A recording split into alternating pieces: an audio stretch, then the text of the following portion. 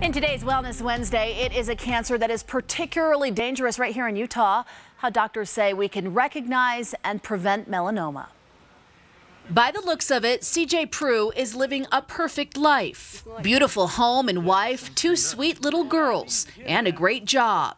But like everyone, there is a lot more to what his life is dealing with. So for me, the last two years has been pretty, pretty crazy. It, It all began at the start of 2019. I was noticed in January, I noticed this spot on the bottom of my foot, super minuscule, didn't really feel like anything, didn't look like anything.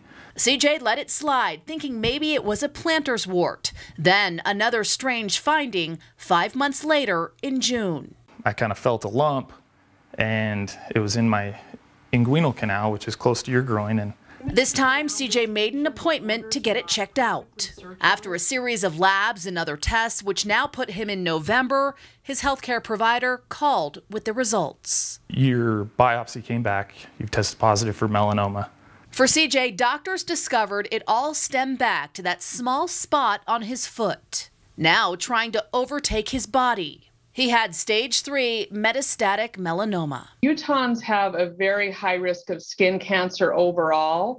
Dr. Tawnya Bowles, oncologist and melanoma service director at Intermountain Medical Center, says the risk here increases because of the elevation. We're among the highest in the nation. She says education and being aware is a strong defense against skin cancer. Our goal in reducing the burden of melanoma in Utah is to not only prevent skin cancer before it ever starts, but really teaching people how to recognize melanoma early so it can be diagnosed and treated early.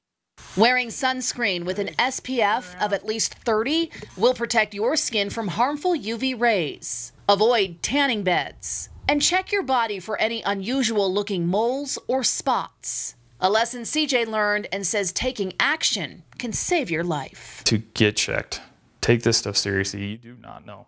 It is very serious. And again, sunscreen, that is key, perhaps your biggest defense against skin cancer. If you'd like more information, go to our website, fox13now.com.